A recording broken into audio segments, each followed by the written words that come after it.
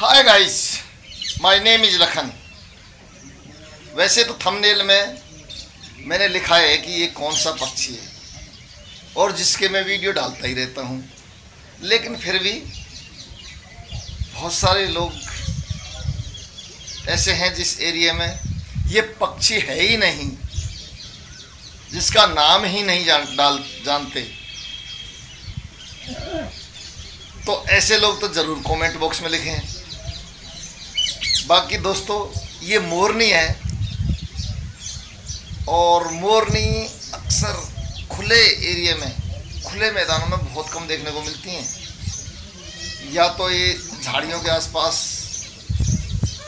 तीतर की तरह छिपने वाला जानवर है, वैसे तीतल तीतर परिवार का ही माना जाता है। लेकिन अब खुले खुले एरिए में पानी पीने के लिए, और आप देख रहे हो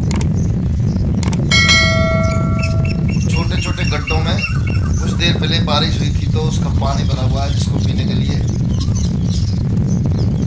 अब बहुत सारे व्यूअर्स कहते हैं कि, सर, मोरनी की आवाज़ भाई, मोरनी और मोर एक जैसे ही बोलते हैं। मोरनी की आवाज़ मैंने एक दो डाल भी रखी है।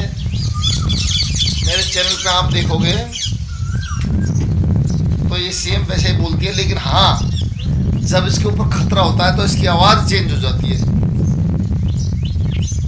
वो आवाज़ तो मोर की भी ऐसी होती है, जैसी मोरनी की होती है। लेकिन आज मैंने अकेले मोरनी को फिल्माया है। खुले मैदान में घूमते हुए, दोस्तों, मोर की सुंदरता के पीछे यदि कोई पक्षी है तो वो है ये मोरनी।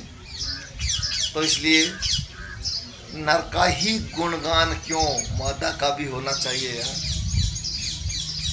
तो चलो, आइए। एक बार चैनल को भी सब्सक्राइब कर लें और वीडियो को लाइक और शेयर भी कर दें। तो बहुत बहुत धन्यवाद आपका। और ऐसे ही राष्ट्रीय पक्षी के वीडियो देखने के लिए।